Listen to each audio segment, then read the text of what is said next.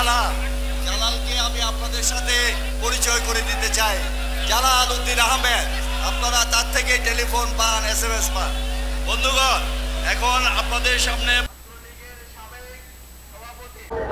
যুক্তপ্রণ এবং জাতীয় ঐক্য প্রক্রিয়া। যে সমাবেশ আহ্বান করেছে, আমরা এই সমাবেশে উপস্থিত হয়েছি যে জাতীয় ঐক্য পরিষদের এক নেতা বিসমুল্লাহ রহমান রাহিম। আজকে জাতীয় ঐক্যের ডাক দিয়েছেন ডক্টর কামাল হোসেন। সেখানে বাংলাদেশের আমার জানা মতে, আমি যতটুকুন পত্রপত্রিকা বিভিন্নভাবে মানুষের সঙ্গে কথা প্রিয় দর্শকবৃন্দ, আমরা এখন বর্তমানে অবস্থান করছি ঢাকা নাট্যমঞ্চ। এখানে নাগরিক সমাবেশ, জাতীয় ঐক্য প্রক্রিয়ার একটি প্রোগ্রাম চলতেছে। ওয়ার্ল্ড